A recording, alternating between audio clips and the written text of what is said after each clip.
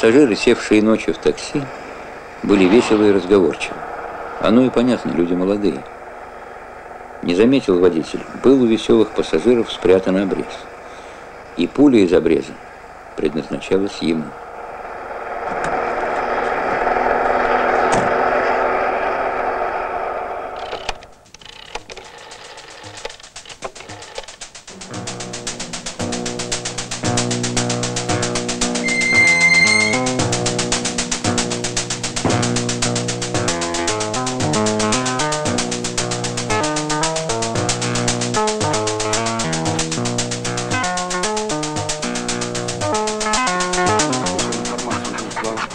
Смотрите сами.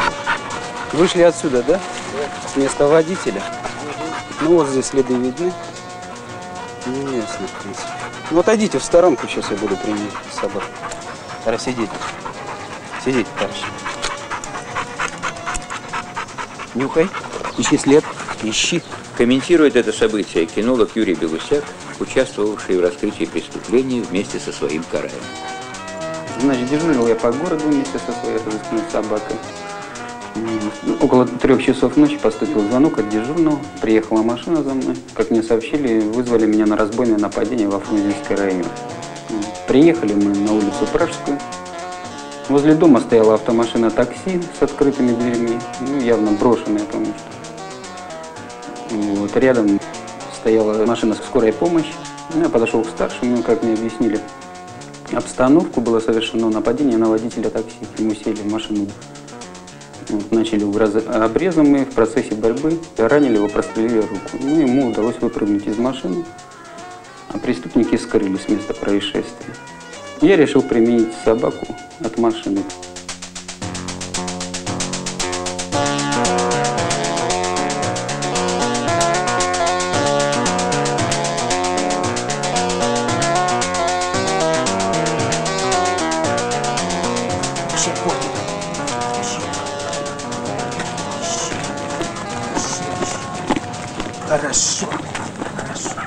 Ай, хорошо, хорошо.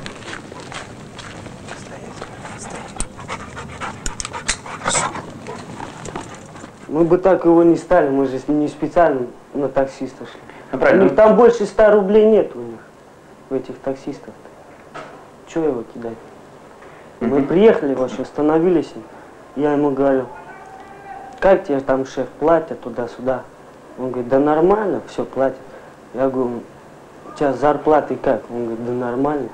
Я ему намекнул на зарплату, а не на это. Что он, ну там, выручка его или что.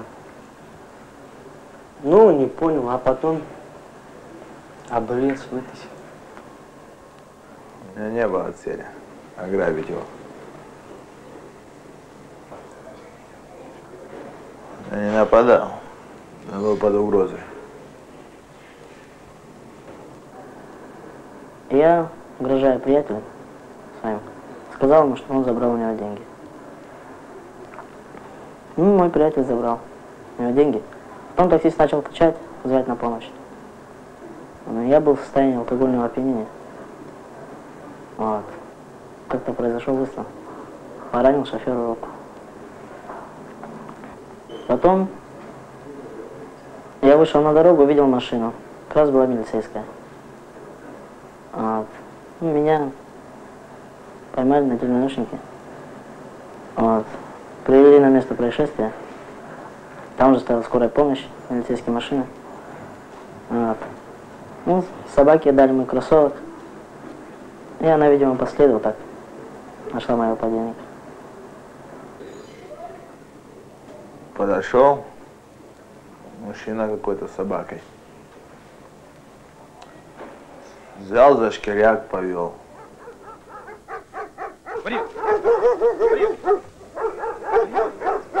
Вперед! Вперед!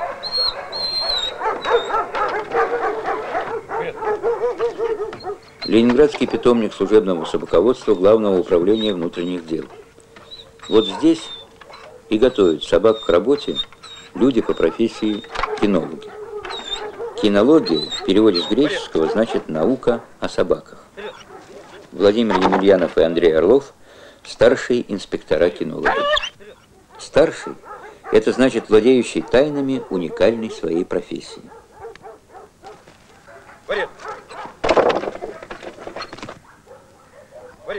Владимир Иванович, а что главное в работе кинолога? Контакт должен быть с собакой. Я вот смотрю на собаку, вижу, что что-то ей не нравится. Значит, все. А то можно ее вообще запороть, она и работать не будет. Затормозиться, и все. Ну, у меня было две собаки. Это первый восточник был, потом хром, немецкая овчарка. С ним было у меня тоже много раскрытий, чистых раскрытий. Первый раз я с ним выехал, дежурил здесь на питомнике и выехал во Всеволожский район. В одну, в одной из деревень ночью был взломан магазин, похищены спиртные напитки, консервы. Сторож видел, что двое было преступников, они вылезли из окна, но он побоялся просто подойти все. Приехал я на место происшествия, это где-то был ноябрь месяц, мороз стоял, давность было уже более трех часов. Собаку от окна поставил на след. Хорошо, что там никто пока не ходил, не топтался. И собака повела, вывела за деревню, и с другой стороны в деревню опять ввела, и прямо к дому калитки подвела. Ну, заходим, стучимся в дверь, бабуля из-за двери, кто там? Говорю, милиция. Она сразу, ох, говорила я этому Витьке, зачем же он столько вина принес? Говорит, зачем он? Ну, все. Заходим туда, где Витька? Витька там пьяный спит в той комнате. Ну, на столе водка стоит, допитая, пустые бутылки, недопитые, консервы эти. Забегаем в комнату, нету, я смотрю по кровати, нету накрылась. Собака, я смотрю, под кровать, Витька уже под кроватью запрятался. Вытащили. Сколько себя помню с детства, в доме всегда были животные, кошки, собаки. Где-то года за полтора до армии я поехал отдыхать в Горький и купил там овчарку, Заур. В то время у меня же дома была собака одна, звали ее Руда. Прожили они полтора года вместе, я ушел с Зауром служить в армии, в погранвойска. Во время службы у меня был такой эпизод, когда собака, я, в общем-то, тонул в болоте, и собака меня просто спасла. Если бы не собака, я бы, наверное, утонул.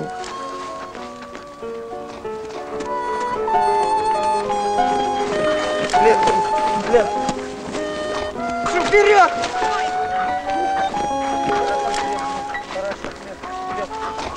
Ой, Вперед!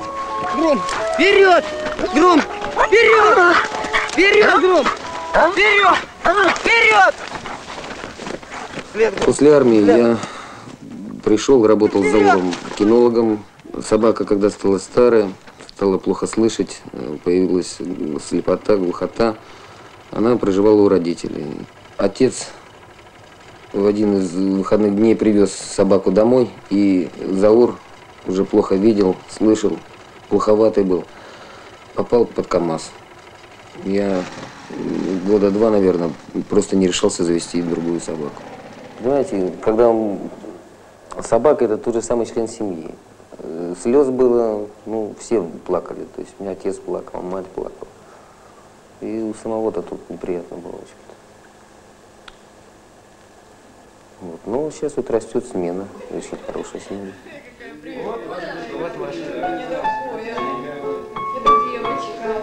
Это Адочка. Она какая прелесть, какая хорошая какая девочка. Ну.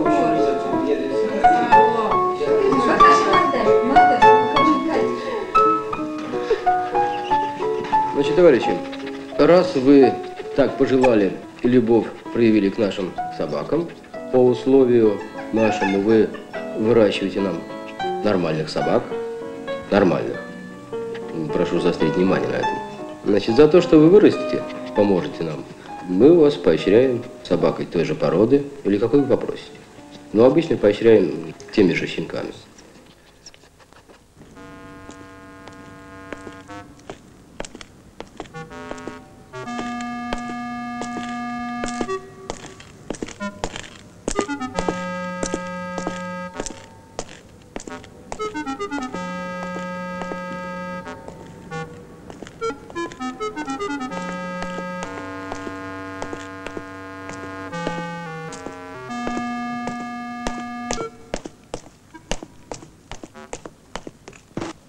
23, дома 122 по улице Садовой в Ленинграде, расположена на третьем этаже пятиэтажного дома. Труп женщины, правильно делать вложение, расположен в положении лежа на животе. Головой труп обращен к окну. Подушенные поверхности стоп обращены к стене, противоположной окну. Правая рука приведена к туловищу, левая находится под углом 45 градусов по отношению к туловищу. Правой боковой поверхности шеи имеется входное колото-резанное ранение, вокруг которого кожа опачкана темно-красной подсохшей кровью. С левой стороны имеется выходное колото-резанное ранение, вокруг которого кожа также опачкана темно-красной бурой подсохшей кровью. Рядом с газовой плитой имеется тумбочка, на которой стоит банка, покрытая тарелкой, и имеется в тарелке окурок от папиросы Беломор Канал. На кухонном столе лежит нож. Нож хозяйственный, клинок белого металла, длиной около 25 сантиметров.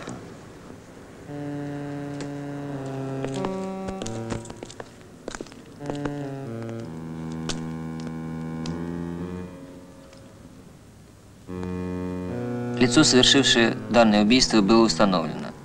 И как следователь, я хочу отметить, что в данном случае для раскрытия убийства и изобличения преступника большую роль сыграло применение служебно-розыскной собаки, при помощи которой был прослежен путь отхода преступника с места происшествия.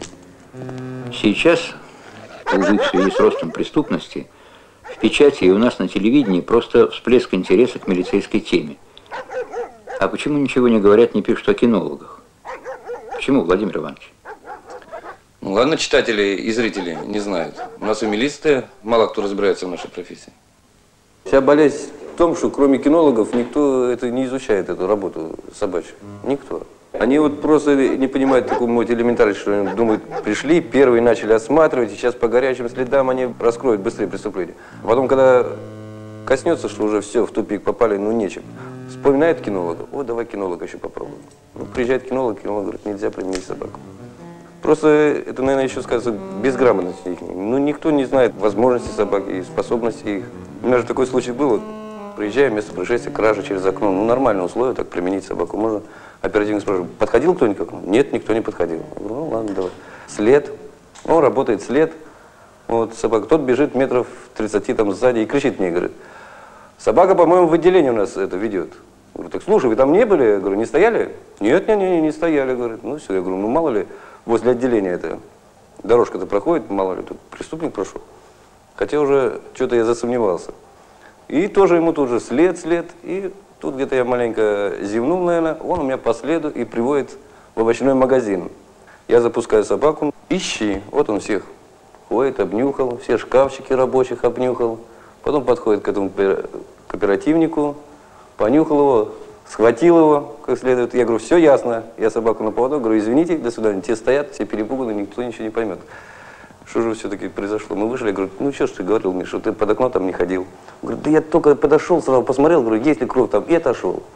Но собаки достаточно, работает след, свежий запах, который последний остается.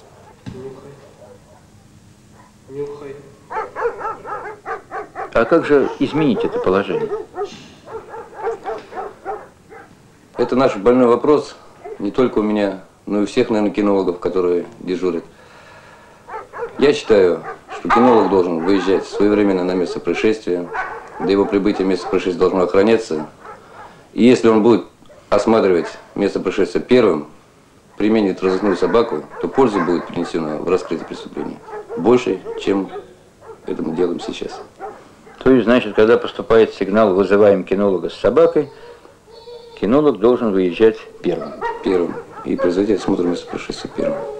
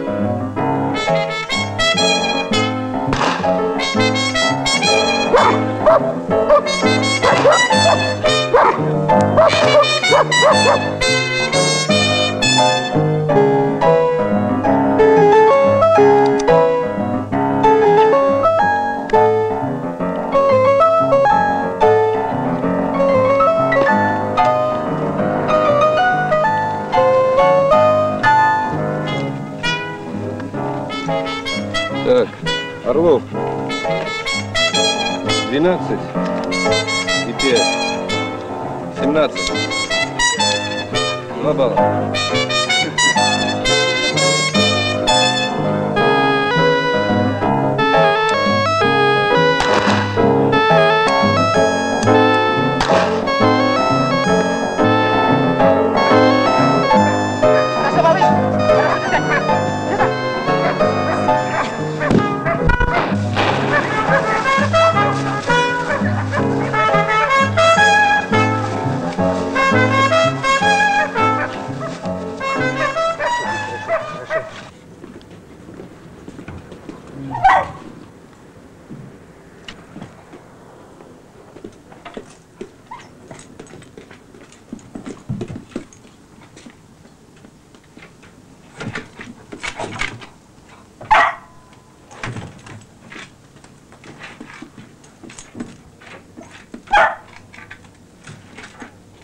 внимание, собака подошла к пеналу.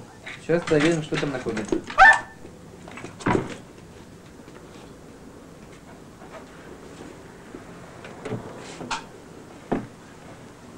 Кроме овчарок у нас и спинели. В основном они применяются для розыска наркотических веществ. Одна из таких спинелей, Джулия, или как мы ее называем, Женя, работает с ней Дмитриева Людмила. Людмила воспитала уже кинолога Байкову Марину. Вот это первый мой выезд с моей учительницей, с Людмилой Александровной. Поехали на московский вокзал, поезд Алмата-Ленинград. Дождались поезда, вагон оцепили, значит, вошли. Я прошу, Людмила Александровна, говорю, пустите нас вперед. Ну, попробуем, я говорю. Ну, всякое бывает. Нет, так нет, вы следом пойдете, проконтролируйте. Она, ну давай, ни пуха, ни пера. Давай. И вот я зашла. Зашла, ноги трясутся, руки трясутся, значит, сама все вот так, Данька, говорю, ищи. Вот, Данька пошел. Заметался, заметался, и вот этот угол вот, который справа, вот, значит, чувствую, вот прям туда принюхивается, принюхивается, ну, думаю, мало ли что. Я его завела с другой стороны. И с другой стороны как раз было купе, где сидели вот эти вот задержанные. И он к ним под ноги. Я так испугалась, я говорю, я не знаю вообще-то что. Я говорю, ну вот, вот, проверьте вот там, пожалуйста, вот собака оттуда не вылезает. А Людмила Александровна зашла сзади, значит, и тут же, ну, следом за мной, и тут же Женька, значит, пошла вот то, в то же купе проводника, в тот же правый угол. Значит, этот слева, она справа. Вот. Запах-то идет, понимаете? Ведь у них там очень много, полтора килограмма было. То есть там был тайник. Открыли коробку, и там вот это вот марихуана, полтора килограмма. Вот Людмила меня целует, говорит, молодцы, нашли, нашли, значит. Когда она первый раз выезжала и нашла, это был вечер рассказов. Я как бы жил, с работы пришел, да? Коля пришел с цветами. Да, но мне сказали, что так, мы вот так уже предупредили, значит, ты сразу купил. Да не место. Значит, первый выезд и удачный. Ну да, дома столько эмоций, столько рассказов, Там было столько восторгов было, знаете, не передать. Работай.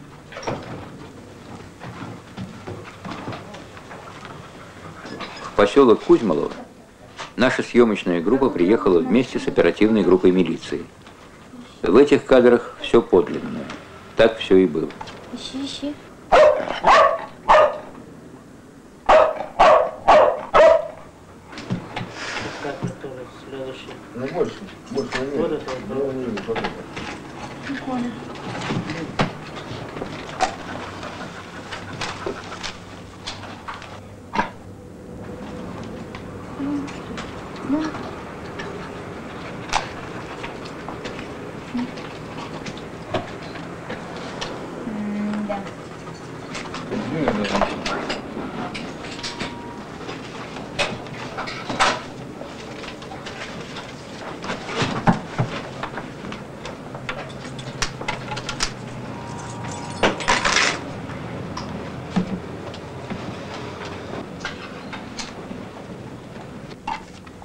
Нюхай.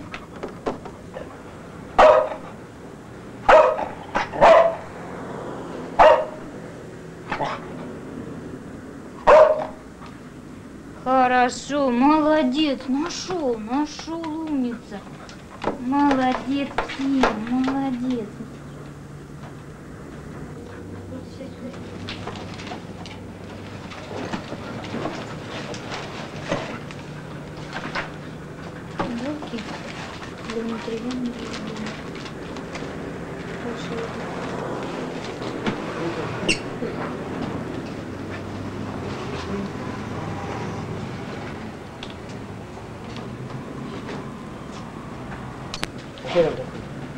За успешную работу в этот день Марина Байкова будет поощрена по службе. Но существует еще и доброе слово, которое, как известно, и кошке приятно. Ну, не говоря уже о человеке с собакой. Но с добрым словом хуже. Отношение к кинологам у коллег неоднозначное. Вот вы были свидетелями, когда мы на рейд ходили. А вообще вот сидишь в отделе, Даня, сиди спокойно, место. Вот, значит, сидишь в отделе, то есть, а мне говорят они, они сами говорят, что да, зачем нам собака? Да мы сами как собаки, и даже лучше собак. Мы уже входим и сразу чуем, есть или нету, да не место. То есть вот так. А на Западе собаки ходят в бронежилетах, представляете, к ним еще приставлены там, чтобы их охранять. Собаки там в цене такие, за ними охотятся. А здесь он, я говорю, милый мой, говорю, ну ты проверишь, я все понимаю, но ты же будешь два часа искать. Я пустила собачку, все, минута, две, три. Грамотный кинолог, он и с хорошо подготовленной собакой больше пользы принесет, чем какой-то два тех же оперативника. Для нас дорога каждая минута для работы с собакой. Вот. Это хорошо, если сразу выехали, 20-30 минут пройдет. А то у нас же там, пока районные подразделения проверят, пока сами все свои возможности, силы не испробовали, потом кинолог выезжает, проходит 2-3 часа.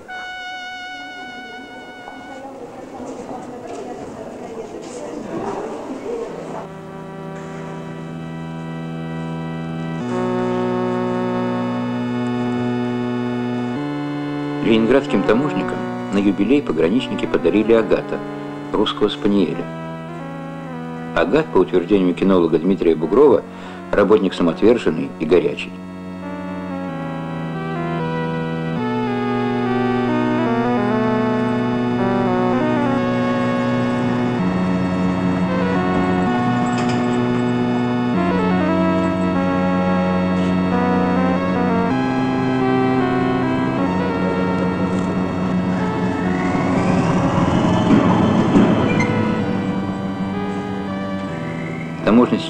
Расширяет кинологическую службу. Здесь высоко ценят этот удивительный инструмент природы – собачий нос. Говорят, что он чует в сто раз лучше нашего.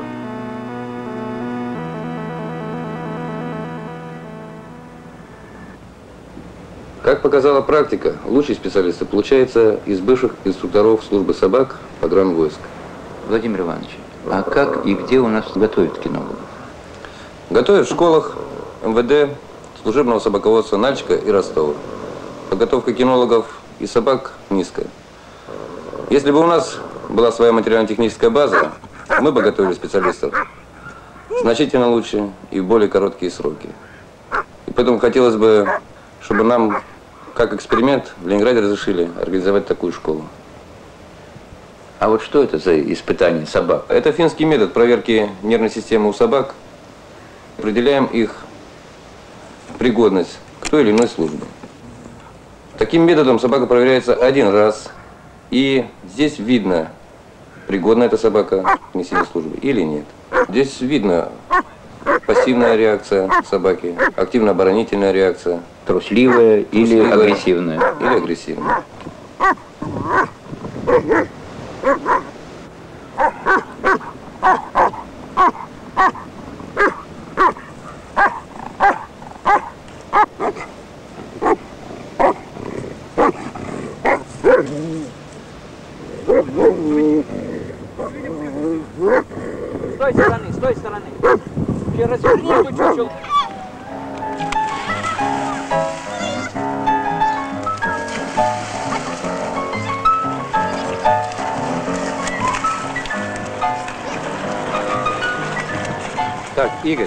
Показываю, как выполняется команда «лежать». Правой рукой за поводочек дергаешь собаку вперед, левой нажимаешь на круг, поправил ее, если она неправильно легла. Так, Похвалил, похвалил ее. Так, понял? Так, смотри. Команда, прием, команда сидеть. Левой рукой нажимаешь на круг, правой подтаскиваешь э, за поводочек кверху. Похвалил, хорошо. Попробуй. Иди попробуй сам. Так. Поводок в правую руку. Коротко, коротко взял в правую руку. Команду лежать даешь. Лежать. Лежать. Лежать. Лежать. Так, снизу. поправил ее, поправил, чтобы Лежать. правильно, правильно ложилась. Так, за лапки и все. Так, поставь собаку. Поставь. Стоять. Хорошо, хорошо. Молодец. Хорошо. Банальный вопрос, Владимир Иванович. И все же расскажите, как вы стали кинологом. После армии ходил я в море, ловил рыбу. На судне был у нас беспородный пес Шурик. Приучил я его различным командам держать конфеты на носу. По команде «Горизонт» он бежал на верхнюю палубу, смотрел в море. А потом я пришел работать в милицию. Работал с собаками патрульно-постовой службой. Но однажды, попав центральный питомник служебного собаководства, я загорелся желанием работать только здесь.